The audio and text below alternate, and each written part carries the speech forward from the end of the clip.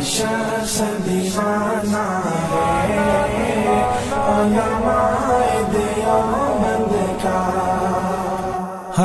दौर सुहाना है। वालेकुम वरहमतुल्लाहि वबरकातुह। दोस्तों, आज हम आपको एक ऐसी जगह लेकर आए हैं। शायद इस जगह को देखने के लिए बहुत सारों की तमन्ना होती है। हम में से बहुत सारे ऐसे भी होते हैं जो मज़ार पर जाते हैं। ख्वाजा मोइनुद्दीन चिश्ती रहमतुल्लाहि अलैह के दरगाह तक पहुँचते हैं। कोई हज़रत कलियरी रहमत अलैह के कलियर शरीफ पर जाता है तो चूँकि वो जगहें मशहूर हैं और वहाँ हर कसो नाकस आते जाते रहते हैं, इसीलिए उन जगहों को लोग जानते हैं। लेकिन ये जो जगह जो देख रहे हैं आप, ये भी उन्हीं जगहों में से एक है। लेकिन इनको हर कोई जानता नहीं। वजह उसकी यह है कि यहाँ हर कोई आता नहीं और यहाँ बेपर्दगी और यानियत नहीं है। हर तरह की औरतें नहीं आ सकती हैं।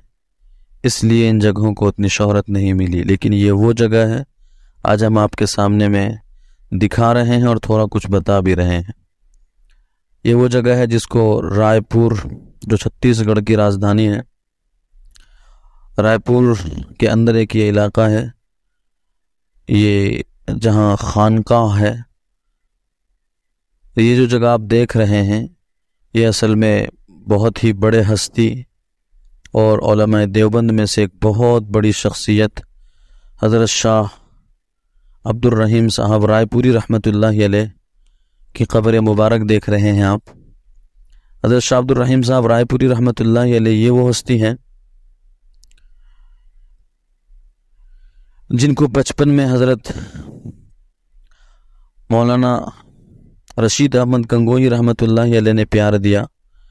हज़रत हाजी इमदादुल्ला महाजिर मक्की अलैह ने आपके घर पर, जबकि अंग्रेज़ों की तरफ़ से बहुत ज़्यादा परेशान किए जा रहे थे तो गए थे और घर पे जाने के बाद दस्ते शफ़क़त आपके हाथ पर डाला था। और फिर एक वाक़ अजीब मैं आपको सुनाऊँ, हज़रत रायपुरी रहमत अलैह का, कि हज़रत जो हैं कलियर शरीफ की तरफ़ गए। वहाँ जाने के बाद जब सोए कलियर शरीफ में तो रात को आवाज़ आई अब्दुलरहीम हो। तो हज़रत फरमाते हैं, जैसा कि किताबों में लिखा है हज़रत रायपुरी रहमत कहते हैं कि मैंने सोचा कि शायद अब्दुल रहीम किसी खादिम का नाम होगा इस जगह का, इसीलिए उनको आवाज़ आ रही है। तो मैंने जवाब नहीं दिया। इसी तरह से फिर बाद में फिर आवाज़ आई। फिर मैंने जवाब नहीं दिया। मेरी आँख लग गई। कुछ वाक़ आगे पीछे करके बोल रहा हूँ, लेकिन यूँ ही वाक़ है। आँख लगी तो मुझे ऐसे लगा कि जैसे बहुत ज़्यादा गर्मी है तो मैं बाहर के हिस्से में जाकर सो गया। फिर बाहर लगा ऐसे जैसे कोई बारिश हो रही हो तो मैं वापस आके अंदर सो गया। फिर जैसे लगा गर्मी है तो मैं वापस जाकर बाहर सो गया। फिर बारिश जैसी लगी तो मैं वापस अंदर चला आया। फिर अंदर में यह आवाज़ आई अब्दुलरहीम हो। तो मुझे लगा, कोई खादिम को पुकार रहा है, लेकिन कई बार जब बुलाया गया तो मैंने कहा, जी अब्दुलरहीम हो। तो आवाज़ आई आवाज़ देने वाला कौन था? देख नहीं रहे थे। तो आवाज़ आई कि यहाँ क्या करते हो? तुम्हारा हिस्सा जो है गंगोह के अंदर है, गंगोह चले जाओ। गंगोह में कौन थे? गंगोह में हज़रत मौलाना रशीद अहमद गंगोही रहमतुल्लाह अलैह थे, जो देवबंद में से एक बहुत ही बड़ी हस्ती है। इन मैं आपको हज़रत वाला की कब्र की भी ज़्यारत कराऊँगा। तब तक फ़िलहाल ये देखिए, ये हज़रत ही का कायम किया हुआ एक मदरसा भी है। गुलजार रहीमी के अंदर यही जो पूरा खानका है और एक बाग है ये असल में। इस बाग के अंदर एक ये मदरसा है, जो जब बुनियाद पड़ी थी इस मदरसे की तो बहुत ही खस्ता हाल था। लिखा है कि बारिश का पानी भी अंदर अंदर तक टपकता था, तलबा को तकलीफ़ होती थी, लेकिन हज़रत वाला कभी कभी कोई कभी भी कोई शिकवा ना करते थे। हज़रत शाह अब्दुलरहीम साहब रायपुरी रहमत और यूँ ही चलते रहे। आज अल्हम्दुलिल्लाह, ये मदरसा खूबसूरत है, खुशनुमा है। क्या बेहतरीन है। ये छुट्टी के मौके पर वीडियो रिकॉर्ड किया गया है, इसलिए आपको तलबा नज़र नहीं आ रहे हैं। लेकिन कुछ अल्लाह के नेक बंदे हैं जो अभी यहाँ मौजूद हैं और यहाँ फैज़याब हो रहे हैं। तो ये खानका आप देख रहे हैं, ये खानका का मदरसा है। ये खानका की ये हज़रत रायपुरी रहमत के जहाँ पर मज़ार है कब्र मुबारक है उसके दूसरी तरफ़ ये आप ही के खुदाम हैं आप ही के आ, साथ ताल्लुक़ रखने वाले अकाबरीन की कब्रें हैं कब्रें हैं। ये वो कुआँ है। अच्छा एक बात और बताऊँ कि यही वो जगह है जहाँ से तहरीक रेशमी रुमाल जो जंग आज़ादी के मौके पर चला था जिसके बारे में बहुत कम लोग जानते होंगे। देवबंद ने ही अंग्रेज़ों के ख़िलाफ़ तहरीक रेशमी रुमाल चलाया था। तो उसकी जो शुरुआत हुई थी वो यहीं से हुई थी। तो ये जो कुआँ आपने देखा, ये कुआँ भी उसी ज़माने का है। ये चलिए हम आपको ये जो जगह लेकर जा रहे हैं, यही असल जगह है जहाँ हज़रत रायपुरी रहमत रहा करते थे और ज़िक्र अजकार किया करते थे, अल्लाह को याद किया करते थे और यहीं से जंग आज़ादी के मौके पर अंग्रेज़ों के ख़िलाफ़ जो भी प्लानिंग करनी होती थी हमारे अकाबरीन को, यहाँ से किए जाते थे। चलिए अंदर चलकर हम आपको दिखाते हैं। ये वो जगह है, नूरानी जगह है, खूबसूरत जगह है। ज़रा देखते चलिए। दरो दीवार है उन जगहों की।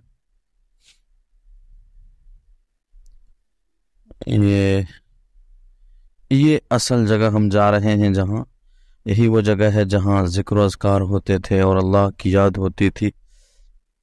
ये पूरी जगह देख रहे हैं। हमें कितनी छोटी सी जगह है। यहाँ हमारे अकाबरीन ज़िक्र किया करते थे और अल्लाह अल्लाह की ज़रबें लगाते थे। क्या बेहतरीन जगह है। सुकून की जगह है दोस्तों, सुकून की जगह है। यहाँ हम सब साथियों ने, ये हमारे सारे साथी हैं। हमने यहाँ पर दो गाना नमाज़ भी अदा की। बस अल्लाह ताला हमें भी कुछ अपने अकाबरीन के जज्बात नसीब फरमावे। और अकाबरीन के जो अल्लाह की मारिफत मिली थी, हमें भी नसीब फरमावे, इसी नीयत से। अच्छा यहाँ की खूबी हमने देखी। यहाँ आप देखेंगे, बाहर की तरफ़ मैं आपको दिखाऊँ। चलते हैं, बाहर की तरफ़ ज़रूर देखेंगे। ये बाहर की तरफ़ से आप देख रहे हैं।